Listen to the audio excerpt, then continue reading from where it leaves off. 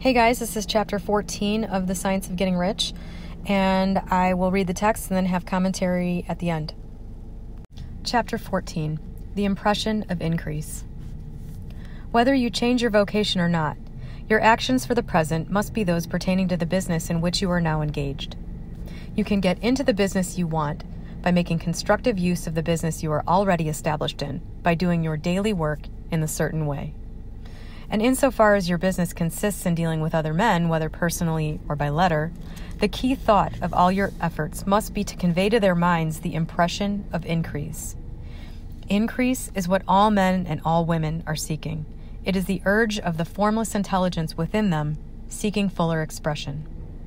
The desire for increase is inherent in all nature. It is the fundamental impulse of the universe. All human activities are based on the desire for increase. People are seeking more food, more clothes, better shelter, more luxury, more beauty, more knowledge, more pleasure. Increase in something, more life. Every living thing is under this necessity for continuous advancement. Where increase of life ceases, dissolution and death set in at once. Man instinctively knows this, and hence he is forever seeking more. This law of perpetual increase is set forth by Jesus in the parable of the talents. Only those who gain more retain any. From him who hath not shall be taken away even that which he hath. The normal desire for increased wealth is not an evil or a reprehensible thing. It is simply the desire for more abundant life. It is aspiration. And because it is the deepest instinct of their natures, all men and women are attracted to him who can give them more of the means of life. In following the certain way, as described in the foregoing pages, you are getting continuous increase for yourself and you are giving it to all with whom you deal. You are a creative center from which increase is given off to all. Be sure of this. And convey assurance of the fact to every man, woman, and child with whom you come in contact, no matter how small the transaction, even if it be only the selling of a stick of candy to a little child.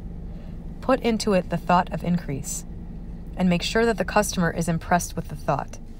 Convey the impression of advancement with everything you do, so that all people shall receive the impression that you are an advancing man, and that you advance all who deal with you, even to the people whom you meet in a social way, without any thought of business, and to whom you do not try to sell anything. Give the thought of increase. You can convey this impression by holding the unshakable faith that you yourself are in the way of increase and by letting this faith inspire, fill, and permeate every action. Do everything that you do in the firm conviction that you are an advancing personality and that you are giving advancement to everybody. Feel that you are getting rich and that in so doing, you are making others rich and conferring benefits to all. Do not boast or brag of your success or talk about it unnecessarily. True faith is never boastful. Wherever you find a boastful person, you find one who is secretly doubtful and afraid. Simply feel the faith and let it work out in every transaction.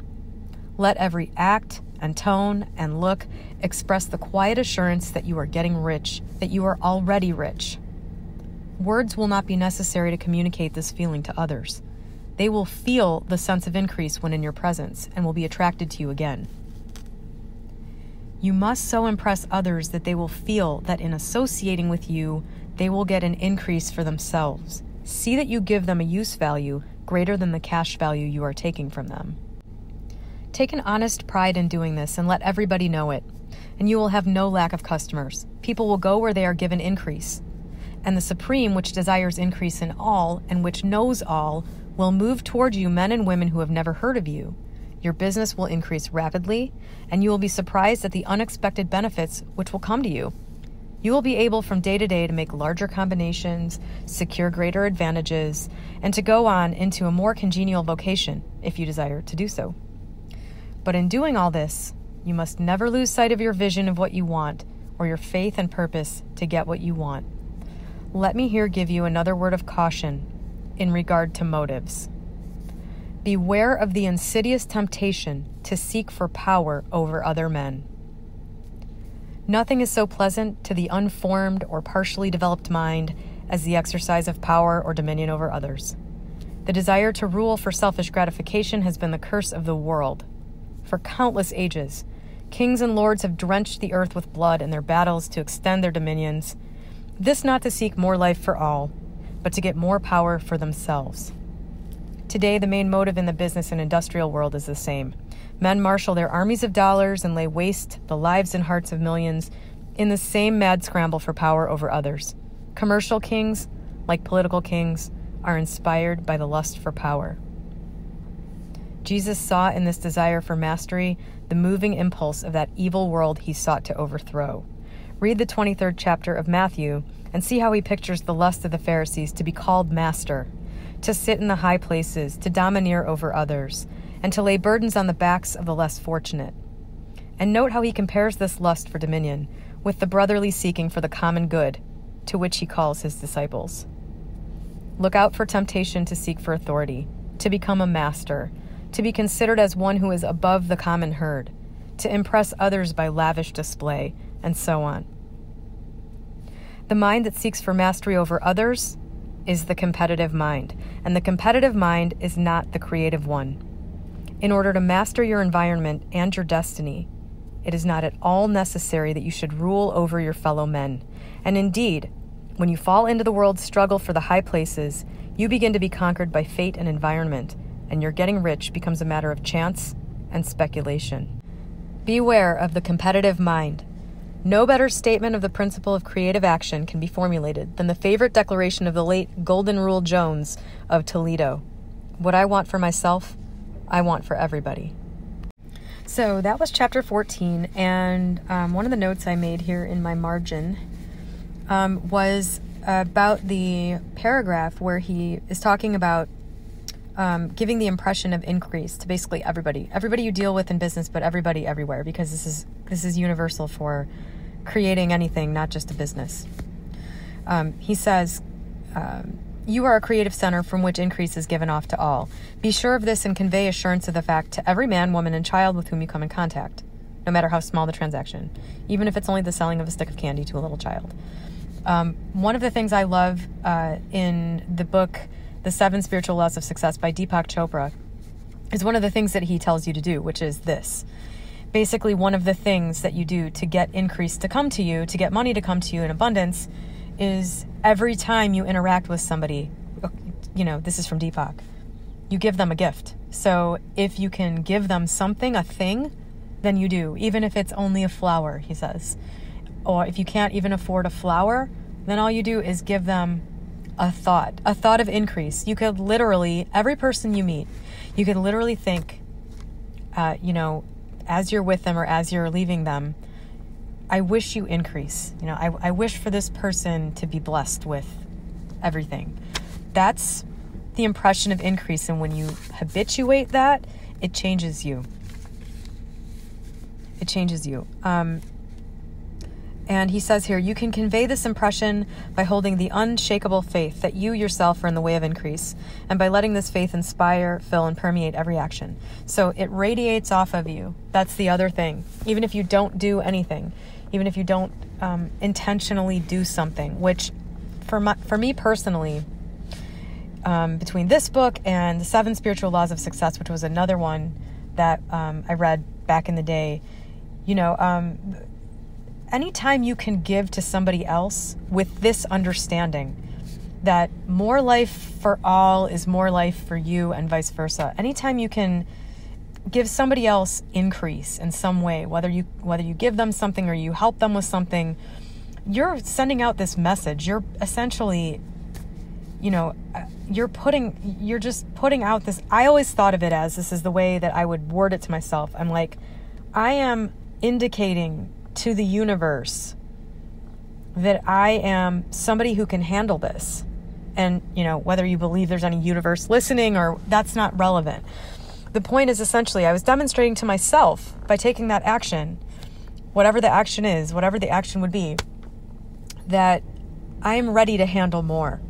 And I'm doing this the right way. And, you know, that type of thing. And to me, that's very powerful you can feel it after the fact. You can feel um, this this feeling like you know you're getting somewhere. You it increases your faith. It increases the feeling, the feeling that you're actually in that state that gets everything.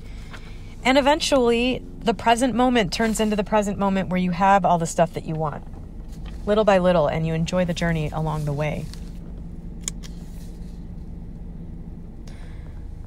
Um, yeah, so that's that was the first part I wanted to say.